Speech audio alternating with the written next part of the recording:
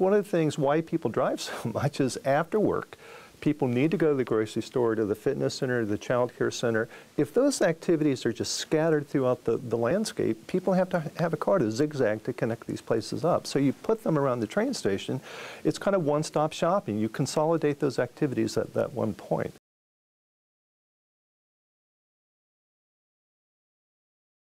I think the best transit-oriented developments are more than just sort of jumping on points and of getting on the train or off the train. They really are focal points to really re-energize and organize places in distress or stagnant urban districts.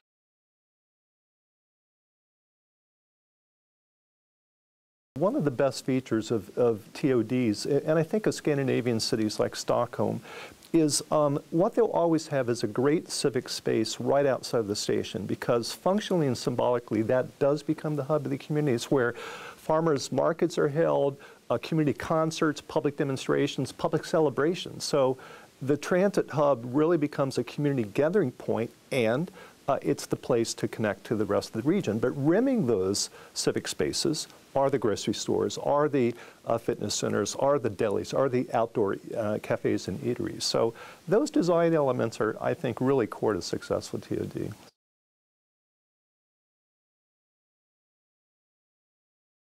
I would point out uh, a place that I think many people recognize is successful for a bus-based system is Curitiba, Brazil. And, and I would say the reason why Curitiba is successful, um, the, the nature of the bus is that uh, you tend to get more linear patterns of development because a bus generally stops more frequently.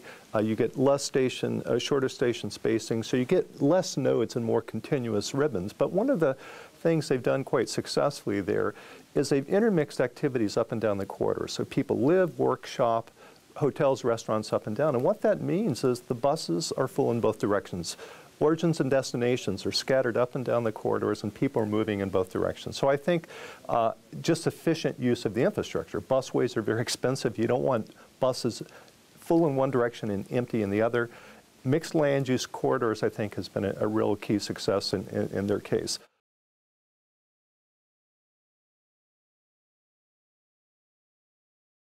what the public sector can do is prime the pump. You know, it, um, the private sector will build buildings around transit stations, but to really get that accelerated, people want amenities. They want good streetscapes. They want walkability. So the armature around the stations, uh, public squares, uh, libraries, uh, just good urban art, that's going to be the sort of thing that brings uh, these choice consumers into these neighborhoods and really build that kind of momentum where you get a virtuous cycle uh, just more market demand with priming the pump in the public sector just really creates that synergy where it just goes on its own momentum.